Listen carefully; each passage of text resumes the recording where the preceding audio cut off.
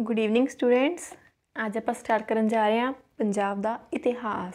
ਇਤਿਹਾਸ ਮਤਲਬ ਪੰਜਾਬ ਦੀ ਹਿਸਟਰੀ ਇਹਦੇ ਵਿੱਚ ਆਪਾਂ ਕਵਰ ਕਰਾਂਗੇ ਜੋ ਆਪਣੇ 10 ਗੁਰੂ ਹੋਏ ਨੇ। ਗੁਰੂ ਨਾਨਕ ਦੇਵ ਜੀ ਤੋਂ ਲੈ ਕੇ ਗੁਰੂ ਗੋਬਿੰਦ ਸਿੰਘ ਜੀ ਤੱਕ। ਉਸ ਤੋਂ ਬਾਅਦ ਹੋਏ ਨੇ ਬੰਦਾ ਸਿੰਘ ਬਹਾਦਰ। ਉਸ ਤੋਂ ਬਾਅਦ ਹੋਏ ਨੇ ਮਹਾਰਾਜਾ ਰਣਜੀਤ ਸਿੰਘ। ਠੀਕ ਹੈ ਜੀ? ਫਿਰ ਆਪਣੇ ਪੋਲੀਟੀਕਲ ਐਕਸਪੈਕਟ ਤੋਂ ਜਿਵੇਂ ਦੇਖੋ ਹੁਣ ਮੁੱਖ ਮੰਤਰੀ ਜੀ ਨੇ। ਠੀਕ ਹੈ? ਉਹਨਾਂ ਬਾਰੇ ਦੇਖਾਂਗੇ ਆਪਾਂ। ਪਹਿਲਾ ਕੌਣ ਸੀ? ਪੰਜਾਬ ਦੇ ਪਹਿਲਾ, ਪਹਿਲੇ ਮੁੱਖ ਮੰਤਰੀ ਕੌਣ ਬਣੇ?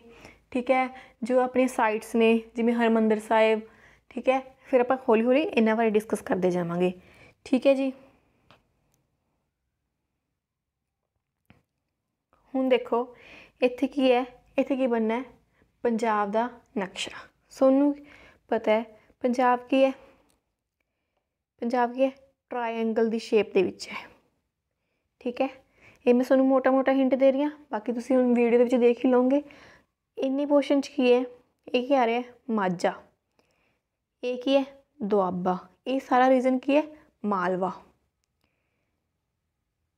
ਠੀਕ ਹੈ ਜੀ? ਇਹ ਕੀ ਹੈ? ਦੁਆਬਾ। ਇਹ ਕੀ ਹੈ? ਮਾਝਾ। ਲੈਫਟ ਤੇ ਕੀ ਹੈ? ਪਾਕਿਸਤਾਨ। ਉੱਪਰ ਕੀ ਹੈ? ਜੰਮੂ ਕਸ਼ਮੀਰ। ਇਧਰ ਕੀ ਹੈ? ਹਿਮਾਚਲ ਪ੍ਰਦੇਸ਼। ਠੀਕ ਹੈ ਹੁਣ ਦੇਖੋ, ਇਹ ਕੀ ਹੈ ਪੰਜਾਬ ਦਾ ਨਕਸ਼ਾ? ਜਿਹੜਾ ਕੀ ਹੈ? ਟ੍ਰਾਇੰਗਲ ਦੀ ਸ਼ੇਪ ਦੇ ਵਿੱਚ ਹੈ। ਹੁਣ ਉੱਪਰ ਕੀ ਆ ਗਿਆ ਸਾਈਡ ਤੇ? ਮਾਝਾ, ਫਿਰ ਦੁਆਬਾ, ਨੀਚੇ ਮਾਲਵਾ। ਹੁਣ ਮਾਝੇ ਦੇ ਵਿੱਚ ਕਿਹੜੀ ਕਿਹੜੀ ਡਿਸਟ੍ਰਿਕਟਸ ਆ ਰਹੀਆਂ ਨੇ? ਪਠਾਨਕੋਟ ਗੁਰਦਾਸਪੁਰ, ਅੰਮ੍ਰਿਤਸਰ ਐਂਡ ਤਰਨਤਾਰਨ। ਠੀਕ ਹੈ ਜੀ? ਮਾਲਵੇ 'ਚ Ferozepur, Faridkot, Shri Muktsar Sahib, Fazilka Bathinda, Mansa, Barnala, Sangrur, Patiala S S Nagar, Fatehgarh Sahib, Malerkotla, Ludhiana, Moga, Doaba region ਦੇ ਵਿੱਚ ਕਿਹੜੇ ਕਿਹੜੇ? Jalandhar S B S Nagar, Hoshiarpur, Kapurthala ਇਹ ਵੀ ਕਪੂਰਥਲਾ ਹੈ। ਨੈਕਸਟ ਕੀ ਹੈ? ਰੂਪਨਗਰ। ਹੁਣ ਦੇਖੋ, ਇਹ ਮੈਪ ਹੈ ਪੰਜਾਬ ਦਾ। ਇਹਦੇ ਵਿੱਚ ਕੀ ਕੀ ਕੁਐਸਚਨ ਆ ਸਕਦੇ ਨੇ? ਸਭ ਤੋਂ ਪਹਿਲਾਂ basic question S A S Nagar ਦਾ ਪੂਰਾ ਨਾਮ ਕੀ ਹੈ? ਸ਼ਹਿਬਜ਼ਾਦਾ ਅਜੀਤ ਸਿੰਘ ਨਗਰ। ਠੀਕ ਹੈ ਜੀ? ਹੁਣ ਐਸ ਬੀ ਐਸ ਨਗਰ ਦਾ ਕੀ ਮਤਲਬ ਹੈ? S B S Nagar. ਠੀਕ ਹੈ? ਇਹਦਾ ਕੀ ਮਤਲਬ ਹੈ? ਐਸ ਬੀ ਐਸ ਨਗਰ ਦਾ? ਐਸ ਬੀ ਐਸ ਨਗਰ ਦਾ ਕੀ ਮਤਲਬ ਹੈ? ਸਰਦਾਰ ਭਗਤ ਸਿੰਘ ਨਗਰ, ਠੀਕ ਹੈ? ਜਿਹਦਾ ਪਹਿਲਾ ਨਾਮ ਹੁੰਦਾ ਸੀ ਨਵਾਂ ਸ਼ਹਿਰ, ਉਹਦਾ ਨਾਮ ਚੇਂਜ ਕਰਕੇ ਕੀ ਰੱਖਤਾ? ਸਰਦਾਰ ਭਗਤ ਸਿੰਘ ਨਗਰ, ਠੀਕ ਹੈ ਜੀ? ਹੁਣ ਹੋਰ ਕੁਐਸਚਨ ਹੈ, ਮਲੇਰਕੋਟਲਾ ਪਿੱਛੇ ਜੇ ਆਪਣੇ ਡਿਸਟ੍ਰਿਕਟ ਬਣਿਆ ਨਵਾਂ। ਮਲੇਰਕੋਟਲਾ ਦੀ ਬਾਉਂਡਰੀ ਕਿੰਨਾ ਡਿਸਟ੍ਰਿਕਟਸ ਨਾਲ ਟੱਚ ਹੋ ਰਹੀ ਹੈ? ਬਰਨਾਲਾ, ਲੁਧਿਆਣਾ, ਫਤਿਹਗੜ੍ਹ ਸਾਹਿਬ, ਪਟਿਆਲਾ ਐਂਡ ਸੰਗਰੂਰ, ਕਿੰਨੀਆਂ ਨੇ? 5 1 2 3 4 5 ਠੀਕ ਹੈ ਜੀ? ਹੁਣ ਇੱਕ ਹੋਰ ਕੁਐਸਚਨ ਹੈ, ਹੁਣ ਆਪਣੇ ਪਾਕਿਸਤਾਨ ਨਾਲ ਕਿੰਨੇ ਡਿਸਟ੍ਰਿਕਟ ਦੀ ਬਾਉਂਡਰੀ ਸ਼ੇਅਰ ਹੋ ਰਹੀ ਹੈ? ਪਠਾਨਕੋਟ, ਗੁਰਦਾਸਪੁਰ, ਅੰਮ੍ਰਿਤਸਰ, ਤਰਨਤਾਰਨ, ਫਿਰੋਜ਼ਪੁਰ ਐਂਡ ਫਾਜ਼ਿਲਕਾ। 1 2 3 4 5 6 ਇਹ ਇੰਪੋਰਟੈਂਟ ਕੁਐਸਚਨ ਬਣ ਜਾਂਦਾ ਹੈ। ਇਹਨੂੰ ਧਿਆਨ ਵਿੱਚ ਰੱਖਣਾ ਹੈ। ਪਠਾਨਕੋਟ, ਗੁਰਦਾਸਪੁਰ, ਅੰਮ੍ਰਿਤਸਰ, ਤਰਨਤਾਰਨ, ਫਿਰੋਜ਼ਪੁਰ ਐਂਡ ਫਾਜ਼ਿਲਕਾ। ਠੀਕ ਹੈ ਜੀ, ਇਹ ਸੀ ਆਪਣੇ ਪੰਜਾਬ ਦਾ ਨਕਸ਼ਾ। ਇਹਨੂੰ ਧਿਆਨ ਵਿੱਚ ਰੱਖਣਾ ਹੈ। ਠੀਕ ਹੈ। ਹੁਣ ਨੈਕਸਟ ਨੈਕਸਟ ਕੀ ਹੈ? Punjab Punjab word is adapted from which language Punjab ਜਿਹੜਾ ਸ਼ਬਦ ਹੈ, ਇਹ ਕਿਹੜੀ ਲੈਂਗੁਏਜ ਦੇ ਵਿੱਚੋਂ ਲਿਆ ਗਿਆ ਹੈ? ਕਿ ਉਰਦੂ ਲੈਂਗੁਏਜ ਚ ਲਿਆ ਹੈ, ਕਿ ਗ੍ਰੀਕ ਲੈਂਗੁਏਜ ਚ ਲਿਆ ਹੈ ਪਰਸ਼ੀਅਨ ਲੈਂਗੁਏਜ ਚ ਲਿਆ ਹੈ ਜਾਂ ਇੰਗਲਿਸ਼ ਲੈਂਗੁਏਜ ਚ ਲਿਆ ਹੈ? ਠੀਕ ਹੈ?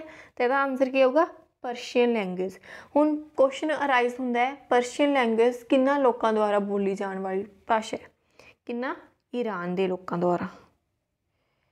ਠੀਕ ਹੈ ਜੀ, ਧਿਆਨ ਵਿੱਚ ਰੱਖੋਗੇ ਇਹ ਗੱਲ? ਨੈਕਸਟ ਦੇਖੋ ਇਹਦਾ ਆਨਸਰ ਕੀ ਹੈ? ਪਰਸ਼ੀਅਨ ਲੈਂਗੁਏਜ ਹੁਣ ਇਨ ਵੈਦਿਕ period the name of Punjab. ਵੈਦਿਕ ਕਾਲ ਵਿੱਚ ਪੰਜਾਬ ਦਾ ਕੀ ਨਾਮ ਸੀ? ਕੀ ਕੀ ਨਾਮ ਸੀ? ਕੀ ਸਪਤ ਸਿੰਧੂ ਸੀ? ਪੰਜਾਬ ਸੀ? ਪੈਂਟਾਪੋਟਾਮੀਆ ਸੀ? ਜਾਂ ਨਨ ਆਫ ਥੀਸ ਮਤਲਬ ਇਹਨਾਂ ਚ ਕੋਈ ਵੀ ਨਹੀਂ ਸੀ। ਕੀ ਨਾਮ ਸੀ? ਸਪਤ ਸਿੰਧੂ। ਠੀਕ ਹੈ ਜੀ। ਨੈਕਸਟ ਨੈਕਸਟ ਚੱਲਦੇ ਹਾਂ ਆਪਾਂ। What was the old name of Punjab Punjab ਦਾ ਪੁਰਾਣਾ ਨਾਮ ਕੀ ਸੀ? ਸਪਤਾ ਰਿਸ਼ੀ, ਸਪਤਾ ਸੰਧੂ, ਸਪਤਾ ਅਬਾ ਜਾਂ ਪੰਜਾਬ? ਕੀ ਨਾਮ ਸੀ ਆਪਣੇ ਕੋਲ? ਸਪਤਾ ਸਿੰਧੂ। ਸਪਤਾ ਸੰਧੂ। ਠੀਕ ਹੈ ਜੀ। ਹੋ ਗਿਆ। ਹੁਣ ancient names of Punjab Punjab ਦੇ ਪੁਰਾਣੇ ਨਾਮ ਕੀ ਕੀ ਹਨ? ਹੁਣ ਫਸਟ ਕੀ ਹੈ? ਰਿਗਵੇਦ ਤੋਂ ਪਹਿਲਾਂ ਪੰਜਾਬ ਦਾ ਕੀ ਨਾਮ ਸੀ? ਰਿਗਵੇਦ ਤੋਂ ਬਾਅਦ ਪੰਜਾਬ ਦਾ ਕੀ ਨਾਮ ਸੀ? ਪੈਂਟਾਪੋਟਾਮੀਆ ਨਾਮ ਪੰਜਾਬ ਨੂੰ ਕਿਸ ਨੇ ਦਿੱਤਾ? ਸੂਬਾ ਏ ਲਾਹੌਰ ਪੰਜਾਬ ਨੂੰ ਨਾਮ ਕਿਸ ਨੇ ਦਿੱਤਾ? ਤਾਕਾ ਨਾਮ ਪੰਜਾਬ ਨੂੰ ਕਿਸ ਨੇ ਦਿੱਤਾ? ਠੀਕ ਹੈ? ਇੱਕ ਇੱਕ ਕਰਕੇ ਆਪਾਂ ਇਹ ਸਾਰੇ ਡਿਸਕਸ ਕਰਦੇ ਜਾਵਾਂਗੇ? ਹੁਣ ਪਹਿਲਾ ਆ ਗਿਆ ਅਰਲੀਅਰ ਰਿਗਵੇਦ ਪੀਰੀਅਡ ਦੇ ਵਿੱਚ ਪੰਜਾਬ ਦਾ ਨਾਮ ਕੀ ਸੀ? ਮਤਲਬ ਕਿ ਰਿਗਵੇਦ ਕਾਲ ਤੋਂ ਪਹਿਲਾਂ ਪੰਜਾਬ ਦਾ ਨਾਮ ਕੀ ਸੀ? ਕੀ ਸੀ? ਸਪਤਾ ਸੰਧੂ। ਠੀਕ ਹੈ ਜੀ? ਧਿਆਨ ਵਿੱਚ ਰੱਖਣਾ ਇਹਨੂੰ। ਲੇਟਰ ਰਿਗਵੇਦ ਪੀਰੀਅਡ ਦੇ ਵਿੱਚ ਪੰਜਾਬ ਦਾ ਨਾਮ ਕੀ ਸੀ? ਪੰਚਨੰਦਾ। ਪੰਚਨੰਦਾ ਕਿਉਂ ਕਿਹਾ ਜਾਂਦਾ ਸੀ? ਉਦੋਂ ਪੰਜ ਦਰਿਆ ਵਹਿੰਦੇ ਸੀ। ਪਹਿਲਾਂ ਕੀ ਸੀ? ਸਪਤ ਸਿੰਧੂ ਸੀ, ਸੱਤ ਦਰਿਆ ਵਹਿੰਦੇ ਸੀ। ਫਿਰ ਕੀ ਹੈ ਮਤਲਬ? ਰਿਗਵੇਦ ਤੋਂ ਬਾਅਦ ਕੀ ਹੋਇਆ? ਥੋੜਾ ਉਹਦਾ ਖੇਤਰਫਲ ਘਟ ਗਿਆ ਪੰਜਾਬ ਦਾ, ਤਾਂ ਕਰਕੇ ਉਹਦਾ ਨਾਮ ਕੀ ਬਣ ਗਿਆ? ਪੰਚਨੰਦਾ। ਪੈਂਟਾਪੋਟਾਮੀਆ ਨਾਮ ਕਿਹਨੇ ਦਿੱਤਾ? ਗ੍ਰੀਕ ਫਿਲੋਸਫਰਸ, ਜੋ ਵੀ ਪੰਜਾਬ ਦੇ ਵਿੱਚ ਆਏ ਸੀ, ਉਹਨਾਂ ਨੇ ਪੰਜਾਬ ਦਾ ਨਾਮ ਕੀ ਰੱਖਤਾ? ਪੈਂਟਾਪੋਟਾਮੀਆ ਸੂਬਾ ਏ ਲਾਹੌਰ ਨਾਮ ਪੰਜਾਬ ਨੂੰ ਕਿਹਨੇ ਦਿੱਤਾ? ਬਾਬਰ ਨੇ। ਤੇ ਹੋਰ ਕਿਹਨੇ ਦਿੱਤਾ? ਮਹਾਰਾਜਾ ਰਣਜੀਤ ਸਿੰਘ ਜੀ ਨੇ। ਠੀਕ ਹੈ ਜੀ? ਤਾਕਾ ਨਾਮ ਕਿਹਨੇ ਦਿੱਤਾ? ਜਿਹੜੇ ਪੰਜਾਬ ਦੇ ਵਿੱਚ ਤਾਕਾ ਲੋਕ ਟ੍ਰਾਈਬ ਆਈ ਸੀ। ਠੀਕ ਹੈ? ਤਾਕਾ ਟ੍ਰਾਈਬ ਆਈ ਸੀ, ਉਹਨਾਂ ਨੇ ਕੀਤਾ, ਪੰਜਾਬ ਦਾ ਨਾਮ ਕੀ ਕਰਤਾ? ਤਾਕਾ ਰੱਖਤਾ। ਠੀਕ ਹੈ ਜੀ?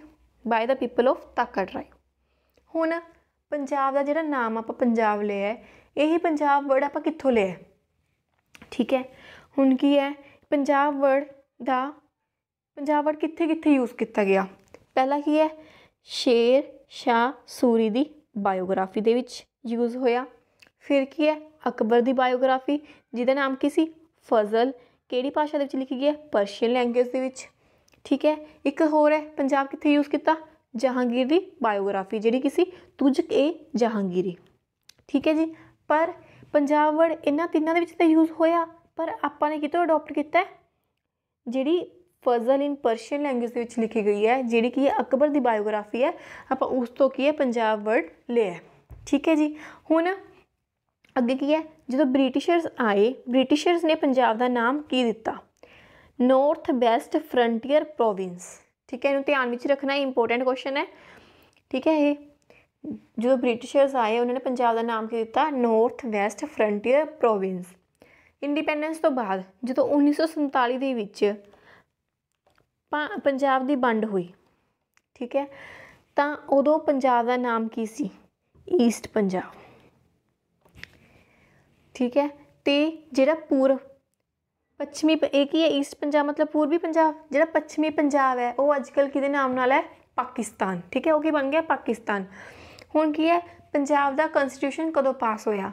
26 ਜਨਵਰੀ 1950 ਨੂੰ। ਠੀਕ ਹੈ ਜੀ। ਨੈਕਸਟ ਚੱਲਦੇ ਹਾਂ। What type of climate of the following Punjab falls Punjab ਕਿਹੋ ਜਿਹੇ ਕਲਾਈਮੇਟ ਦੇ ਵਿੱਚ ਆਂਦਾ ਹੈ? ਕੀ ਇਹ ਆਂਦਾ ਹੈ? ਮੈਡੀਟਰੇਨੀਅਨ ਟਾਈਪ ਠੀਕ ਹੈ। ਕੀ ਇਹ ਆਂਦਾ ਮੈਡੀਟਰੇਨੀਅਨ ਟਾਈਪ ਜਾਂ ਵੈਟਿਕਟੋਰੀਅਲ ਟਾਈਪ ਸਵਾਨਾ ਟਾਈਪ ਜਾਂ ਸਬ ਟ੍ਰੋਪੀਕਲ ਟਾਈਪ ਹੁਣ ਦੇਖੋ। ਆ ਪੰਜਾਬ ਹੈ। ਪੰਜਾਬ ਦੇ ਉੱਪਰ ਕੀ ਪੈਂਦਾ ਹੈ? ਕਸ਼ਮੀਰ। ਠੀਕ ਹੈ, ਨੀਚੇ ਕੀ ਹੈ? South desert.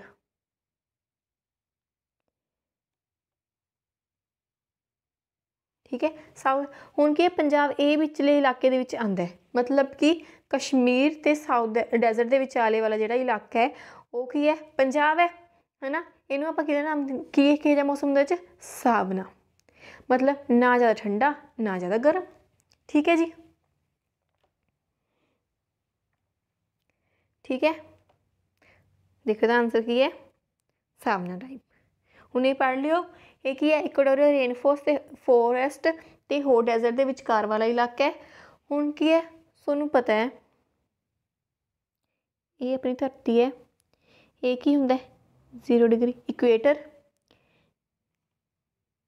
ਇੱਕ ਹੁੰਦਾ ਟ੍ਰੋਪਿਕ ਆਫ ਕੈਂਸਰ ਇੱਕ ਹੁੰਦਾ ਟ੍ਰੋਪਿਕ ਆਫ ਕੈਪਰੀਕੋਨ ਜਦੋਂ ਆਪਾਂ ਉੱਪਰ ਜਾਂਦੇ ਆ, ਤਾਂ ਕਿ ਡਿਗਰੀਜ਼ ਵੱਧਦੇ ਜਾਂਦੀਆਂ ਨੇ? ਹੁਣ ਇਹ ਕੀ ਜਿਹੜਾ ਪੰਜਾਬ ਹੈ 8 ਡਿਗਰੀ ਤੋਂ 20 20 ਡਿਗਰੀ ਦੇ ਵਿੱਚ ਵਿੱਚ ਆਂਦਾ ਆਉਣ ਵਾਲਾ ਮੌਸਮ ਹੈ। ਕਲਾਈਮੇਟ ਪੰਜਾਬ ਦੇ ਵਿੱਚ ਇਹ ਵਾਲਾ ਮੌਸਮ ਆਉਂਦਾ। ਠੀਕ ਹੈ ਜੀ? ਹੁਣ ਨੈਕਸਟ ਦੇਖੋ। ਆ ਪੰਜਾਬੀ ਦੇ ਵਿੱਚ ਪੜ੍ਹ ਲਿਓ ਜੇ ਕਿਸੇ ਨੂੰ ਚਾਹੀਦਾ ਹੋਇਆ। ਨੈਕਸਟ ਕੁਐਸਚਨ ਆਂਦਾ ਹੈ। During Maharaja Ranjit Singh north west boundary of Punjab ਮਤਲਬ ਕੀ ਹੈ? ਜਦੋਂ ਮਹਾਰਾਜਾ ਰਣਜੀਤ ਸਿੰਘ ਸੀਗੇ ਪੰਜਾਬ ਦੇ ਵਿੱਚ, ਤਾਂ ਉਹਨਾਂ ਦੀ ਨਾਰਥ ਵੈਸਟ ਬਾਉਂਡਰੀ ਕੀ ਸੀ? ਸਤਲੁਜ ਲਾਹੌਰ ਪੇਸ਼ਾਵਰ ਜਾਂ ਖਾਈਬਰ ਪਾਸ ਤਾਂ ਕੀ ਸੀ? ਖਾਈਬਰ ਪਾਸ ਤੁਹਾਨੂੰ ਪਤਾ ਹੈ, ਜਿੰਨੇ ਵੀ ਜ਼ਿਆਦਾਤਰ ਹਮਲੇ ਹੋਏ ਨੇ ਕਿਹਦੇ ਥਰੂ ਹੋਏ ਨੇ? ਖਾਈਬਰ ਪਾਸ ਦੇ ਥਰੂ ਠੀਕ ਹੈ ਜੀ? ਖਾਈਬਰ ਪਾਸ ਹੁਣ ਕੀ ਹੈ? ਦੇਖੋ। ਮਾਰ ਖਾਈਬਰ ਪਾਸ ਕੀ ਹੈ? ਬਾਉਂਡਰੀ ਸੀਗੀ ਨਾਰਥ ਵੈਸਟ ਟਾਈਮ ਆਇਆ ਜਿਵੇਂ, ਠੀਕ ਹੈ। ਨੀਚੇ ਕੀ ਨੇ? ਸਾਊਥ ਡੈਜ਼ਰਟ ਉੱਪਰ ਕੀ ਹੈ? ਕਸ਼ਮੀਰ ਇਧਰ ਕੀ ਹੈ? ਸਤਲੁਜ ਦਰਿਆ ਇਧਰ ਕੇ ਹੈ? ਖਾਈਬਰ ਪਾਸ। ਠੀਕ ਹੈ ਜੀ? ਇਹ ਤੁਸੀਂ ਧਿਆਨ ਦੇ ਵਿੱਚ ਰੱਖਣਾ ਹੈ। ਆਈ ਯਾਦ ਰੱਖਣਾ ਇਹਨੂੰ ਵੀ ਆਪਣੇ ਨੌਰਥ ਦੇ ਵਿੱਚ ਕੀ ਹੈ ਈਸਟ ਦੇ ਵਿੱਚ ਕੀ ਹੈ। ਠੀਕ ਹੈ? ਆਪਾਂ ਚੱਲਦੇ ਹਾਂ ਹੁਣ ਅੱਗੇ। ਜਿਹਨੂੰ ਇੰਗਲਿਸ਼ ਨਹੀਂ ਸਮਝ ਆਇਆ, ਉਹ ਪੰਜਾਬੀ ਚ ਪੜ੍ਹ ਲਿਓ ਨਾਰਥ ਵੈਸਟ ਮਤਲਬ ਉੱਤਰ ਪੱਛਮ। ਕਿਹੜੀ ਬਾਉਂਡਰੀ ਹੈ? ਖੈਬਰ ਦਰਿਆ ਦਰੇ ਤੱਕ। After independence which city became the capital of Punjab Punjab ਦੀ ਮਤਲਬ ਆਜ਼ਾਦੀ ਤੋਂ ਬਾਅਦ ਪੰਜਾਬ ਦੀ ਕੈਪੀਟਲ ਕੌਣ ਬਣੀ? ਲੁਧਿਆਣਾ, ਅੰਮ੍ਰਿਤਸਰ ਲੁਧਿਆਣਾ, ਅੰਮ੍ਰਿਤਸਰ, ਸ਼ਿਮਲਾ ਜਾਂ ਨਾਭਾ? ਕੀ ਬਣੀ ਸੀ? ਸ਼ਿਮਲਾ। ਹੁਣ ਤੁਹਾਨੂੰ ਪਤਾ ਹੈ, ਸ਼ਿਮਲਾ ਜਿਹੜੀ ਜਿਹੜੀ ਅੰਗਰੇਜ਼ਾਂ ਦੀ ਕੀ ਸੀ? Summer capital. ਹੁਣ ਉਹ ਸਮਰ ਕੈਪੀਟਲ ਕਿਉਂ ਸੀ? ਕਿਉਂਕਿ ਅੰਗਰੇਜ਼ ਸੀ, ਹੈਨਾ? ਗੋਰੇ ਲੋਕ, ਉਹਨਾਂ ਨੂੰ ਕੀ ਗਰਮ ਮੌਸਮ ਦੇ ਵਿੱਚ ਰਹਿਣਾ ਔਖਾ ਸੀ। ਤਾਂ ਕਰਕੇ ਕਰਦੇ ਸੀ, ਉਹ ਗਰਮੀਆਂ ਦੇ ਵਿੱਚ ਸ਼ਿਮਲਾ ਚਲੇ ਜਾਂਦੇ ਸੀ, ਸ਼ਿਮਲਾ ਸ਼ਿਫਟ ਹੋ ਜਾਂਦੇ ਸੀ। ਠੀਕ ਹੈ ਜੀ। ਨੈਕਸਟ ਦੇਖੋ। ਹੁਣ ਦੇਖੋ ਵੈਨ ਇੰਡੀਆ ਗੋਟ ਇੰਡੀਪੈਂਡੈਂਸ ਹਾਂਜੀ, ਇਹ ਉਹੀ ਹੈ। ਇਹ ਸ਼ਿਮਲਾ ਹੁਣ ਕਿੱਥੇ ਹੈ? ਹਿਮਾਚਲ ਪ੍ਰਦੇਸ਼ ਦੇ ਵਿੱਚ। ਇਹਨੂੰ ਧਿਆਨ ਵਿੱਚ ਰੱਖਣਾ ਹੈ। Which is the largest city of Punjab Punjab ਦੀ ਸਾਨੂੰ ਵੱਡੀ ਸਿਟੀ ਕਿਹੜੀ ਹੈ? ਲੁਧਿਆਣਾ, ਜਲੰਧਰ, ਅੰਮ੍ਰਿਤਸਰ ਜਾਂ ਬਠਿੰਡਾ? ਕਿਹੜੀ ਹੈ? ਲੁਧਿਆਣਾ। ਠੀਕ ਹੈ। How many districts of Punjab now ਹੁਣ ਪੰਜਾਬ ਵਿੱਚ ਕੁੱਲ ਕਿੰਨੇ ਜ਼ਿਲ੍ਹੇ ਹਨ? 17 13 29 ਜਾਂ 23 ਕਿੰਨੇ ਨੇ? 23 ਇੰਡੀਪੈਂਡੈਂਸ ਤੋਂ ਪਹਿਲਾਂ ਪੰਜਾਬ ਦੇ ਕਿੰਨੇ ਜ਼ਿਲ੍ਹੇ ਸਨ? 29 ਠੀਕ ਹੈ? ਜਦੋਂ ਵੰਡ ਹੋਈ, ਉਦੋਂ ਪੰਜਾਬ ਕੋਲ, ਆਪਣੇ ਜਿਹੜਾ ਪੂਰਬੀ ਪੰਜਾਬ ਉਹਦੇ ਕੋਲ ਕਿੰਨੇ ਜ਼ਿਲ੍ਹੇ ਰਹਿ ਗਏ? 13 ਬਾਕੀ ਜ਼ਿਲ੍ਹੇ ਕਿਹਦੇ ਕੋਲ ਚਲੇ ਗਏ? ਪਾਕਿਸਤਾਨ ਕੋਲ। ਠੀਕ ਹੈ ਜੀ? ਸਮ ਇੰਪੋਰਟੈਂਟ ਪੁਆਇੰਟਸ ਇਹਨਾਂ ਨੂੰ ਧਿਆਨ ਵਿੱਚ ਰੱਖਣਾ ਹੈ। Before independence Punjab having how many districts ਆਜ਼ਾਦੀ ਤੋਂ ਪਹਿਲਾਂ ਪੰਜਾਬ ਕੋਲ ਕੁੱਲ ਕਿੰਨੇ ਰਾਜ ਸਨ? ਕਿੰਨੇ ਸੀ? ਕਿੰਨੇ ਡਿਸਟ੍ਰਿਕਟਸ ਸਨ? ਰਾਜ ਨੇ sorry district before independence Punjab having how many districts ਕਿੰਨੇ ਜ਼ਿਲ੍ਹੇ ਸਨ? 29 ਠੀਕ ਹੈ? After independence in 1947 Punjab Indian Punjab having how many district ਆਜ਼ਾਦੀ ਤੋਂ ਬਾਅਦ ਕਿੰਨੇ ਰਹਿ ਗਏ? 13 ਟੋਟਲ ਲੈਜਿਸਲੇਟਿਵ ਅਸੈਂਬਲੀ ਦੇ ਸੀਟਾਂ ਕਿੰਨੀਆਂ ਨੇ? ਟੋਟਲ ਲੈਜਿਸਲੇਟਿਵ ਅਸੈਂਬਲੀ ਵਿੱਚ ਪੰਜਾਬ ਦੀ ਸੀਟਾਂ ਕਿੰਨੀਆਂ ਨੇ? 117 ਲੋਕ ਸਭਾ ਵਿੱਚ ਪੰਜਾਬ ਦੀਆਂ ਸੀਟਾਂ ਕਿੰਨੀਆਂ ਨੇ? 13 ਰਾਜ ਸਭਾ ਵਿੱਚ ਪੰਜਾਬ ਦੀਆਂ ਸੀਟਾਂ ਕਿੰਨੀਆਂ ਨੇ? 7 ਇਹਨਾਂ ਨੂੰ ਧਿਆਨ ਵਿੱਚ ਰੱਖਣਾ, ਇਹਨੂੰ, ਇਹਨਾਂ ਵਿੱਚ ਅਕਸਰ ਕੀ ਲੋਕ, ਬੱਚੇ ਕੀ ਕਨਫਿਊਜ਼ ਹੋ ਜਾਂਦੇ ਨੇ। ਲੋਕ ਸਭਾ ਵਿੱਚ ਮਤਲਬ ਕਿ? ਜ਼ਿਆਦਾ ਲੋਕ? ਤਾਂ ਕਰਕੇ ਤੇ ਜ਼ਿਆਦਾ ਸੀਟਾਂ ਹੁੰਦੀਆਂ ਨੇ, as compare to Rajya Sabha. ਹੁਣ ਰਾਜ ਸਭਾ ਹੈ, ਮਤਲਬ ਰਾਜ ਕਰ ਰਿਹਾ ਕੋਈ ਕੋਈ ਰਾਜ ਕਰੂਗਾ ਤਾਂ ਨਹੀਂ ਸਾਰੇ ਰਾਜ ਕਰਨਗੇ, ਤਾਂ ਉਹਦੀ ਸੀਟਾਂ ਕੀ ਹੁੰਦੀਆਂ ਨੇ, ਘੱਟ ਹੁੰਦੀਆਂ ਨੇ, ਠੀਕ ਹੈ ਜੀ? ਹੁਣ ਦੇਖੋ ਬਿਫੋਰ ਇੰਡੀਪੈਂਡੈਂਸ ਕਿੰਨੀਆਂ ਸੀਟਾਂ ਸੀ? 29 ਆਫਟਰ 13 ਲੈਜਿਸਲੇਟਿਵ ਅਸੈਂਬਲੀ ਵਿੱਚ ਪੰਜਾਬ ਦੇ ਸੀਟਾਂ 117 ਲੋਕ ਸਭਾ ਵਿੱਚ 13 ਰਾਜ ਸਭਾ ਵਿੱਚ 7 ਠੀਕ ਹੈ ਜੀ? ਹੁਣ ਦੇਖੋ international border between India and Pakistan along Punjab is known as which line ਜਿਵੇਂ ਦੇਖੋ।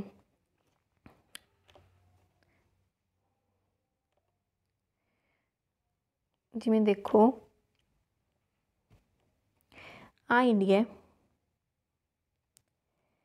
ਆ ਪਾਕਿਸਤਾਨ ਹੈ, ਠੀਕ ਹੈ ਜੀ? ਇਹਨਾਂ ਦੇ ਵਿਚਾਲੇ ਇੱਕ ਲਾਈਨ ਹੈ, ਇੱਕ ਬਾਉਂਡਰੀ ਹੈ। ਉਹਦਾ ਕੀ ਨਾਮ ਹੈ? ਉਹ ਲਾਈਨ ਦਾ ਨਾਮ ਕੀ ਲਾਈਨ ਆਫ ਕੰਟਰੋਲ ਹੈ? ਮਨਮਰਹੀਨ ਲਾਈਨ ਹੈ ਮੈਕਮੋਹਨ ਲਾਈਨ ਹੈ ਜਾਂ ਰੈਡ ਕਲਿਫ ਲਾਈਨ ਹੈ? ਇਹਦਾ ਆਨਸਰ ਤੁਸੀਂ ਕਿੱਥੇ ਦੱਸੋਗੇ? ਕਮੈਂਟ ਬਾਕਸ ਦੇ ਵਿੱਚ। ਤੇ ਵੀਡੀਓ ਬਾਰੇ ਫੀਡਬੈਕ ਜ਼ਰੂਰ ਦੇਣੀ ਹੈ। ਤੁਹਾਨੂੰ ਵੀਡੀਓ ਕਿੱਦਾਂ ਦੀ ਲੱਗੀ? ਤਾਂ ਜੋ ਅਸੀਂ ਅੱਗੇ ਤੋਂ ਹੋਰ ਨਵੇਂ ਨਵੇਂ ਕੰਟੈਂਟ ਲੈ ਕੇ ਆਈਏ। ਠੀਕ ਹੈ ਜੀ? ਚਲੋ ਬਾਏ ਬਾਏ ਮਿਲਦੇ ਹਾਂ ਅਗਲੀ ਵੀਡੀਓ ਦੇ ਵਿੱਚ।